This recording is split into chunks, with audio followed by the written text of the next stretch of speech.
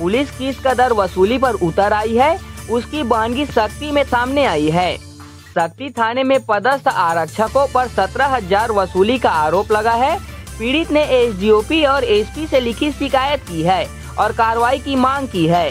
शक्ति एसडीओपी तस्लीम आरिफ ने जाँच कर कार्रवाई की बात कही है। दरअसल रिक्शा चालक जय प्रकाश रात्रे ने पीने के लिए घर में एक पाव शराब रखा था। शक्ति थाने के आरक्षक सिविल ड्रेस में पहुँचे थे और जयप्रकाश के घर में घुस गए थे। घर में पीने के लिए रखी एक पाव शराब को जब्त किया था और जयप्रकाश रात्रे को थाने ले आए थे।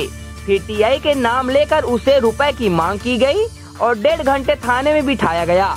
बाद में सत्रह हज़ार रूपए दिए गए, जिसके बाद जयप्रकाश रात्रे को छोड़ा गया।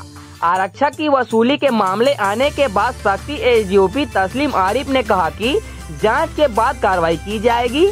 आपको बता दें शक्ति थाने में वसूली का यह पहला मामला नहीं है। इससे पहले भी कई मामले आ चुके हैं। वसूलीबाज पुलिस कर्मियों पर सख्ती से कार्रवाई नहीं होने और उच्च अधिकारियों के संरक्षण मिलने से वसूलीबाज पुलिस कर्मियों के हौसले बढ़ जाते हैं। अब देखना होगा कि इस मामले में पुलिस के आला अधिकारी क्या कार्रवाई करते हैं।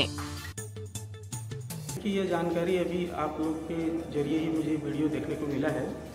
इस वीडियो का भी मैं जाँच करा ले रहा हूँ और अगर इसमें अगर जो भी दोषी पाया जाएगा उसके खिलाफ अनुशासनात्मक कार्रवाई के लिए सख्त प्रतिवेदन वरिष्ठ कार्यालय को भेजी जाएगी।